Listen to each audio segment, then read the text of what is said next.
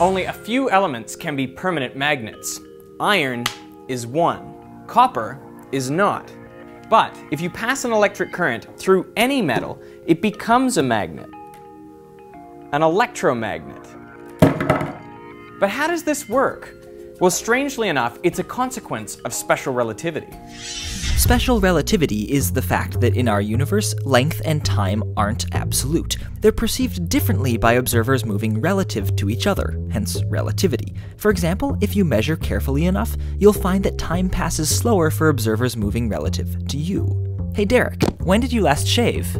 Six hours ago. Actually, it was 5 hours, 59 minutes, and 59.99999999999 seconds. And moving objects are also contracted in their direction of motion. You're looking slim, only in your frame of reference. So when an object is moving relative to you, it actually takes up less space than when it's not moving. And even though this effect is obviously way tinier than we've shown, length contraction is what makes an electromagnet work. Picture a copper wire. It consists of positive metal ions swimming in a sea of free negative electrons.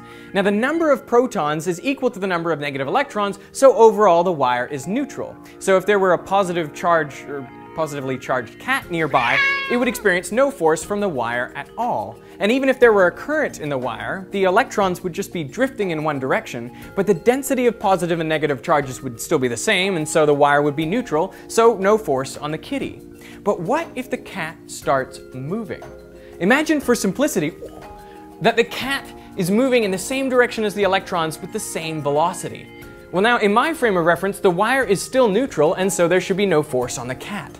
But consider the same situation in her frame of reference. In the cat's frame of reference, the positive charges in the wire are moving, so according to special relativity, their separation will be ever so slightly contracted. Also, from this perspective, the electrons aren't moving, so they'll be more spread out than before. Remember, objects take up more space when they're not moving than when they are.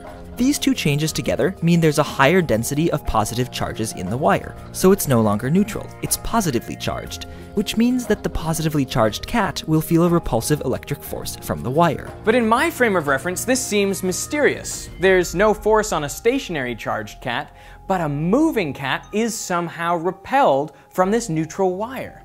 How do you account for that force? Well, we say it is the magnetic force. And that's mainly because a wire with current in it deflects nearby magnets. So really what this experiment shows is that a magnetic field is just an electric field viewed from a different frame of reference. In the cat's frame of reference, it is repelled from the wire due to the electric field created by the excess positive charges produced by the effects of length contraction. In my frame of reference, the cat is repelled from a neutral wire due to the magnetic field created by the current flowing in the wire. So whether you see it as an electric or a magnetic field just depends on your frame of reference, but in either case, the results are the same. So an electromagnet is an everyday example of special relativity in action. Now that might seem crazy since electrons drift through wires at about 0.00000000001% the speed of light. So how can special relativity have anything to do with it?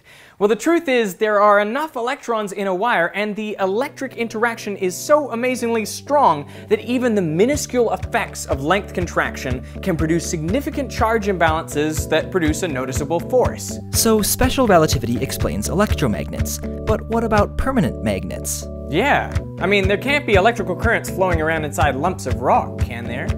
Click here to go to Minute Physics where we'll explore magnetite, compasses, and all the wizardry of permanent magnets.